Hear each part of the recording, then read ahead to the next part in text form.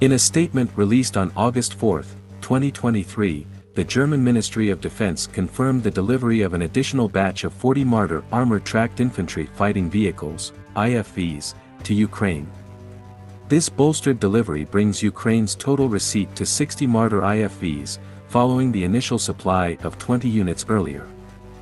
The Marder infantry fighting vehicles, IFVs, provided to Ukraine are the renovated Marder 1A3 model, upgraded by the German firm Rheinmetall. The inaugural batch of these IFVs was dispatched to Ukraine in March 2023. The units supplied were once Marder 1A3 systems owned by the Bundeswehr, now meticulously overhauled. Rheinmetall Landsystem had initiated the restoration of these IFVs as far back as spring 2022, bearing the cost to ensure immediate combat readiness. The refurbishment process took place at their facilities in Unterlüss and Kassel. The Marder 1A3 is a type of infantry fighting vehicle, IFV, used by the German Army.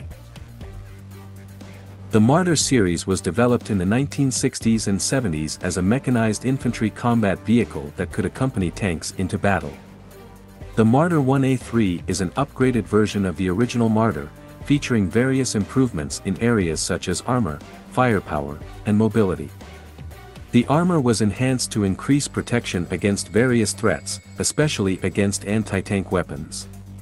This vehicle is typically armed with a 20mm automatic cannon, which is capable of engaging enemy personnel, light vehicles, and low-flying aircraft. Some versions of the Marder also carry anti-tank guided missiles for engaging enemy armor. In addition, the Marder 1A3 has a machine gun for close-in defense. The Marder 1A3 has a crew of three, the driver, the gunner, and the commander. It can also carry a squad of mechanized infantry, which can fight from inside the vehicle using firing ports or dismount to fight on foot.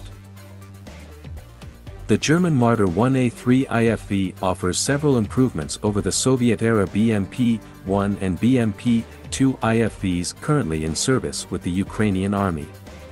The Marder 1A3's enhanced armor protection would be a major benefit, providing better survivability against anti-tank weapons and other threats, while the BMP series was known for relatively thin armor. In terms of firepower, the Marder 1A3 is equipped with a 20mm automatic cannon, which represents a significant upgrade over the 73mm gun on the BMP-1 and is comparable to the 30mm cannon on the BMP-2. Additionally, the Marder's capacity to carry anti-tank guided missiles offers greater firepower against enemy armored vehicles. The Marder 1A3 also offers tactical versatility. While both the Marder and the BMP series can carry a squad of mechanized infantry, the Marder's layout, with the troop compartment in the rear as opposed to the center in the BMP, may allow for safer and more efficient mounting and dismounting. This could enable more flexible and effective deployment of infantry in various combat scenarios.